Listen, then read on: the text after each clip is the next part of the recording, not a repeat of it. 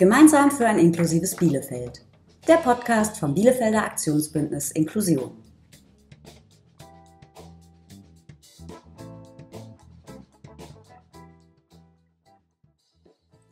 Herzlich willkommen zum Podcast vom Bielefelder Aktionsbündnis Inklusion.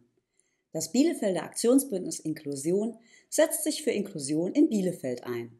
Das Ziel ist, Bielefeld noch inklusiver zu machen und allen Menschen in Bielefeld Teilhabe zu ermöglichen. Dazu macht das Bielefelder Aktionsbündnis Inklusion verschiedene Veranstaltungen und Aktionen. Zum Beispiel diese Podcasts mit Lesungen in leichter und einfacher Sprache. Inklusion kann nur gelingen, wenn alle mitmachen. Deshalb muss Inklusion auch als Auftrag an alle verstanden werden. Das heißt, wir alle müssen uns immer wieder darum bemühen, Barrieren abzubauen. Und dafür haben wir heute einen besonderen Vorleser. Manuel Hornig, ehemaliger Profifußballer vom DSC Arminia Bielefeld. Manuel, wann hast du zuletzt einen Text gelesen und dachtest, nee, das verstehe ich nicht? Ja, das ist mir tatsächlich gerade vor kurzem äh, passiert. Und zwar, als ich die Texte für meine Schüler in meinem Erdkundekurs in der Q1 gesichtet hatte und habe mir die Texte dann so angeschaut und dann gemerkt, oder selbst erstmal durchgelesen und dann habe ich gedacht, oh, die sind da wirklich ja, schwer verständlich. Ich bin mal gespannt, was bei den Schülern so rauskommt und da ist mir erstmal wieder bewusst geworden, äh, wie Texte doch unterschiedlich aufgebaut sein können. Und ähm, ja, also den Text fand ich auf jeden Fall schon mal ein bisschen schwieriger zugegebenermaßen. Was gefällt dir an leichter und einfacher Sprache? Ja, bei leichter und einfacher Sprache finde ich es einfach toll, ähm, dass alle Menschen am Lesen teilhaben können. Ich glaube, das Lesen ähm, ist, ist ganz, ganz wichtig. Lesen ist wichtig für die Gesundheit, um, um Stress abzubauen, ja, um kreativ zu sein, ähm, Fantasie aufzubauen, sich vielleicht auch eine Sozialkompetenz aufzubauen, um sich in, in andere Menschen besser hereinversetzen zu können. Sie fördert die Konzentration. Also es gibt ganz viele Aspekte, ähm, weswegen das Lesen äh, das Leben eines Menschen bereichern kann, sage ich mal. Und ich finde es halt unheimlich wichtig, dass, dass alle Menschen daran teilhaben können, ja, vielleicht auch Menschen, die irgendwo ein Handicap haben und trotzdem ähm, ja, Texte genießen können und damit umgehen können und auch diese, diese Kompetenzen erwerben können. Was liest du heute vor? Ich lese heute vor das perfekte Geschenk. Ähm, ja, das ist eine kurze Geschichte in leichter Sprache. Da geht es um diesen Arminia-Kontext, um unsere tollen Fans von Arminia Bielefeld, ähm, ja, die wir total vermissen momentan in Corona-Zeiten. Das ist eine außergewöhnliche Situation, äh, dass wir bei den Fußballspielen keine Zuschauer äh, da haben, die wir natürlich äh, sehr brauchen könnten, gerade in der Situation als Aufsteiger in die erste Liga. Äh, unsere Fans, die in der Vergangenheit immer wieder nach vorne gepeitscht haben. Das ist natürlich schon ein Verlust für uns und natürlich aber auch für die Fans selbst, äh, die mit Sicherheit äh, den Gang ins Staaten total vermissen. Und ja, das ist eine schöne Geschichte, wo es um unsere tollen Fans geht, um das mal wieder auch so ein bisschen in Erinnerung zu rufen, gerade in diesen Zeiten, an denen sie zumindest mal nicht im Stadion teilhaben können. Toll. Dann hören wir jetzt eine Kurzgeschichte in leichter Sprache, vorgelesen von Manuel Hornig. Das perfekte Geschenk. Eine kurze Geschichte in leichter Sprache. Ingo sitzt mit seinen Freunden in der Stammkneipe. Hier treffen sie sich vor jedem Heimspiel. Dann gehen sie zusammen ins Stadion. Heute ist das letzte Spiel vor der Winterpause. Alle freuen sich auf das Spiel. Alle sind große Fans von Arminia Bielefeld. Ingo ist heute aber schlecht drauf. Die anderen lachen und machen Witze. Ingo sagt kaum etwas. Dirk ist ein guter Freund von Ingo. Die beiden kennen sich seit der Schulzeit. Er merkt schnell, dass bei Ingo was nicht stimmt. Dirk setzt sich zu Ingo und fragt, Ingo, was ist los mit dir? Bist du heute nicht gut drauf? Ingo nimmt einen Schluck von seinem Bier. Er sagt, ach Dirk, ist alles blöd gelaufen in den letzten Wochen. Und jetzt sind es nur noch ein paar Tage bis Weihnachten. Und ich habe nicht mal ein Geschenk für Karin. Karin ist Ingos Freundin. Die beiden sind schon drei Jahre zusammen. Ingo ist sehr glücklich mit Karin. Er wollte ihr was Besonderes zu Weihnachten schenken, aber dann ging alles schief. Ingo erzählt, erst musste mein Auto in die Werkstatt Und letzte Woche klaut mir jemand auf dem Weihnachtsmarkt das Portemonnaie. Das ganze Geld, alles weg. Personalausweis, Führerschein. Ich muss alles neu beantragen. Und das kostet auch wieder Geld. Und Geld habe ich gerade nicht. Ich habe nur ganz wenig gespart. Und das ist für die Autoreparatur draufgegangen. Ingo nimmt noch einen Schluck von seinem Bier. Dirk hat Mitleid mit Ingo und sagt, Mann, das tut mir echt leid. Ingo haut wütend auf den Tisch. Er sagt laut, Mann ey, wenn ich wenigstens ein Geschenk für Karin hätte. Dirk wundert sich und guckt sich um. Er fragt, wo ist Karin eigentlich? Normalerweise ist sie doch auch bei jedem Heimspiel dabei. Ingo sagt ruhig, Karin muss arbeiten. Sie ist doch jetzt in der Großküche. Das gefällt ihr gut, ist aber auch sehr anstrengend. Die anderen machen sich fürs Stadion bereit. Dicke Jacke, Arminia-Schal, Mütze. Dirk nimmt den letzten Schluck von seinem Bier. Er sagt, Los Ingo, auf geht's ins Stadion. Ich habe eine Idee. Vielleicht ist heute ja dein Glückstag. Ingo fragt, wie meinst du das? Aber Dirk sagt nichts. Er ist schon auf dem Weg nach draußen. Ingo trinkt schnell sein Bier aus, dann zieht er seine Jacke an und läuft seinen, läuft seinen Freunden hinterher. Ingo läuft zu Dirk und fragt wieder, wieso Glückstag? Dirk sagt, naja, heute ist doch das letzte Spiel vor der Winterpause. Wenn Arminia Bielefeld gewinnt, gibt es was zu feiern. Ingo versteht nicht, was das mit ihm zu tun hat. Er sagt, na und? Dann habe ich trotzdem kein Geschenk für Karin. Dirk bleibt stehen und hält Ingo am Arm fest. Dann sagt er, was meinst du? Freut sich Karin über ein Trikot? Ingo guckt Dirk mit großen Augen an. Dann lächelt er und sagt, na klar, das ist das perfekte Geschenk. Dirk geht weiter und sagt, na also, wir gehen nach dem Spiel direkt an den Zaun. Heute bestimmt, geben bestimmt alle Spieler ihr Trikot ab. Mit etwas Glück bekommst du eins ab. Und zwar umsonst. Ingo ist total aufgeregt. Er klopft Dirk auf den Rücken und sagt, Mann, wenn das klappt, der Plan ist genial. Die Freunde gehen zusammen zum Stadion. Von der Stammkneipe bis zum Stadion ist es nicht weit. Ingo und Dirk haben den anderen von dem Plan erzählt. Alle sind begeistert und wollen Ingo helfen. Die Freunde kennen sich gut im Stadion aus. Deshalb sind sie schnell auf ihren Plätzen. Hier stehen sie immer, direkt hinter dem Tor. Dirk hat für alle was zu trinken geholt. Er kommt gerade rechtzeitig. Der Schiedsrichter pfeift und das Spiel geht los. Die Stimmung im Stadion ist super. Die Zuschauer feuern Arminia Bielefeld an.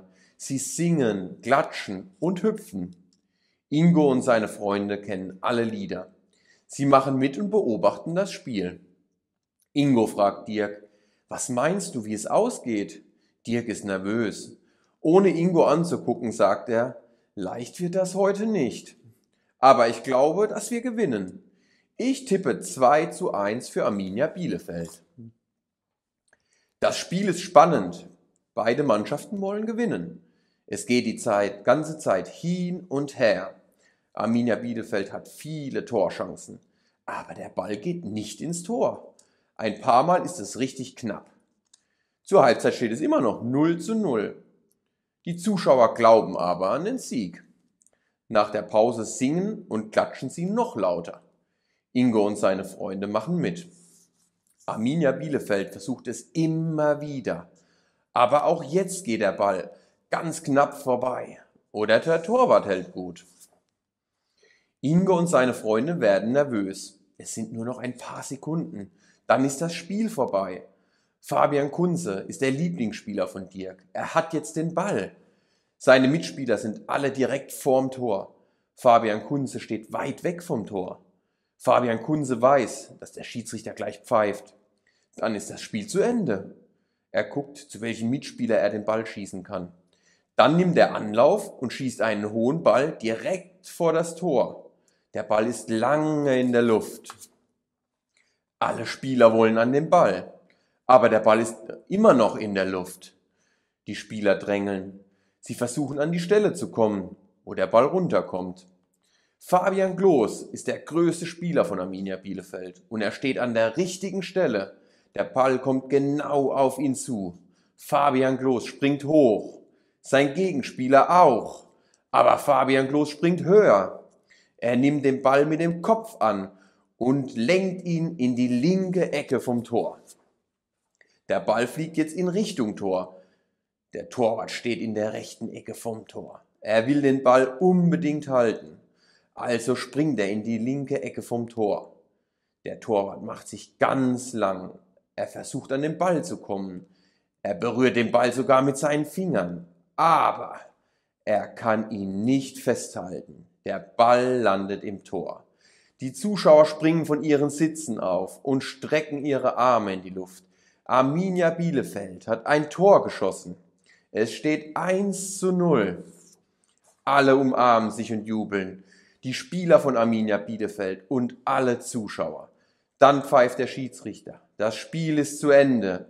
Arminia Bielefeld hat in letzter Sekunde gewonnen. Dirk packt Ingo am Arm und ruft, Los, komm, wir müssen an den Zaun, sonst ist da gleich alles voll. Ingo und die anderen laufen Dirk hinterher. Alle finden einen Platz am Zaun. Jetzt warten sie auf die Spieler.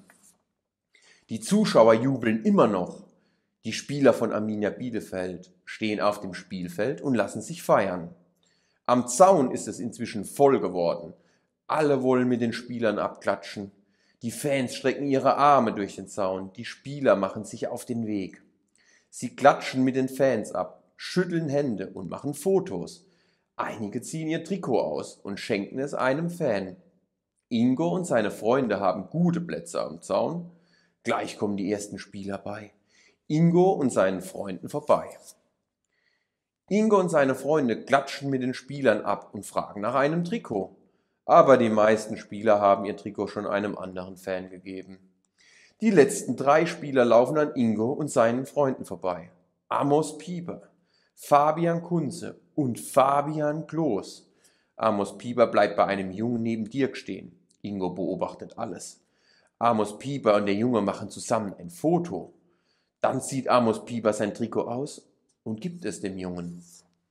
Verdammt, denkt Ingo. Als nächstes kommt Fabian Kunze. Er schüttelt Hände und macht Fotos mit den Fans. Aber er hat kein Trikot an. Er hat es schon einem anderen Fan gegeben. Ingo und seine Freunde werden nervös. Das sieht nicht gut aus für Ingo. Dann kommt Fabian Kloß. Der hat sein Trikot noch nicht verschenkt. Fabian Kloß klatscht mit den Fans ab. Ingo und seine Freunde warten darauf, dass Fabian Kloß endlich zu ihnen kommt. Fabian Kloß ist fast bei Dirk, aber dann dreht er sich um und geht, geht zurück zum Spielfeld. Ingo und seine Freunde schlagen ihre Hände über den Kopf zusammen. Das kann doch nicht sein, denken sie. Dirk reagiert blitzschnell. Er streckt seine Arme durch den Zaun, so weit wie er kann, und schafft es. Er fasst Fabian Kloß am Trikot. Fabian Gloß bleibt stehen und guckt Dirk an. Dirk ruft, Fabian, warte, komm mal bitte her. Alle gucken gespannt auf Fabian Gloß. Und tatsächlich, Fabian Gloß geht zu Dirk. Ingo steht ein Stück daneben. Er sieht, wie Dirk mit Fabian Gloß redet. Aber er kann nicht hören, was sie sagen. Dann geht Fabian Gloß zu Ingo. Als er bei Ingo angekommen ist, fragt er Dirk, der hier? Dirk antwortet, ja, genau. Fabian Kloß guckt Ingo an und grinst. Er sagt, frohe Weihnachten, Kumpel. Dann zieht er sein Trikot aus und gibt es Ingo. Ingo weiß nicht, was er sagen soll. Er hält das Trikot fest in seinen Händen. Es ist nass und dreckig. Dann sagt Ingo, danke Fabian, du bist der Beste. Danke Mann. Mehr fällt Ingo nicht ein. Fabian Gloß lächelt und geht dann zurück zum Spielfeld. Ingos Freunde können es kaum glauben. Sie rennen zu Ingo und rufen, Mensch, du Glückspilz! Das war ganz schön knapp. Alle freuen sich für Ingo. Ingo ist immer noch sprachlos. Dann steht Dirk vor ihm. Die beiden Freunde umarmen sich. Ingo bedankt sich bei Dirk und fragt, wie hast du das nur geschafft? Dirk sagt nichts und lacht. Dann umarmen sie sich nochmal. Nach dem Spiel gehen die Freunde wieder in die Stammkneipe. Alle haben gute Laune. Ingo gibt seinen Freunden ein Bier aus.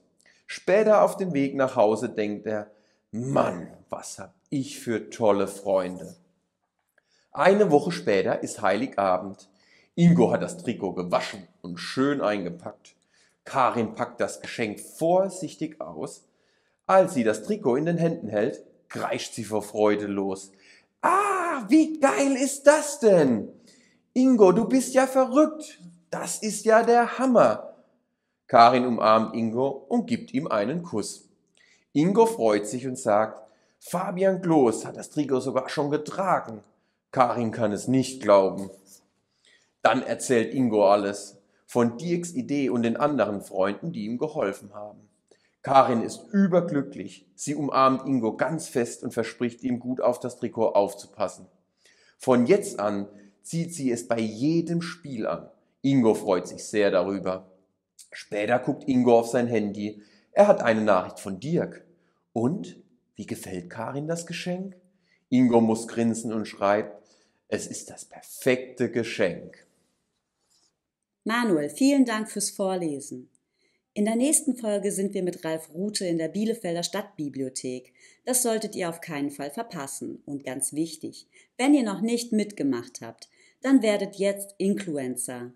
Sagt uns unter dem Hashtag Ich bin Influencer, weil, warum ihr euch für Inklusion einsetzt. Mehr Infos findet ihr auf www.bielefeld.de slash barbie oder direkt auf Instagram inklusion-bielefeld.